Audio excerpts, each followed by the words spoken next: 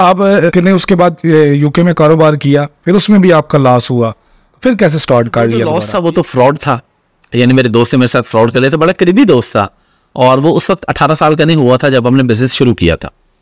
तो जब वो अठारह का हुआ मैंने उसे भी कंपनी में शेयर होल्डर बनाया फिफ्टी परसेंट के ब्रिटिश बाउंड था इधर से पीछे से हारूनाबाद के बावल नगर के।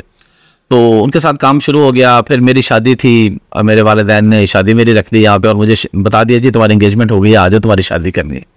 मैं जब आया, मुझे यहाँ पे कुछ टाइम लग गया। उससे पीछे से नई कंपनी खोली, उस पर बिज़नेस शिफ्ट किया और सारा मेरे साथ फ्रॉड कर दिया।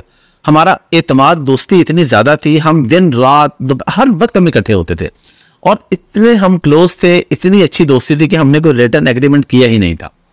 उससे वो सारा फ्रॉड कर लिया ज़ीरो पे आ गया। जो कुछ सेविंग्स थी, वो खा ली, मुश्किल टाइम आया। उसके बाद फिर पाकिस्तान में साकिब अजहर साहब हैं नेबलर्स के। उनका एक मैंने सेमिनार देखा, वो अटेंड किया।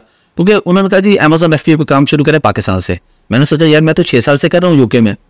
तो पाकिस्तान से कैसे है वो जाके बस इतना था कि पाकिस्तान से बैठ के यहाँ पे एफ़ बी कर ना, यानी अमेजोन के हाउस वो पहले भी कर रहे थे। बस वो आइडिया नहीं था कि मैं यहाँ बैठ के भी कर सकता हूँ। मैं डिसार्ट हो गया, मुझे लगा, यार, मेरे इतना बड़ा लॉस हो गया बैंक अकाउंट्स पे पैसा सब कुछ उड़ गया यूके में जो था।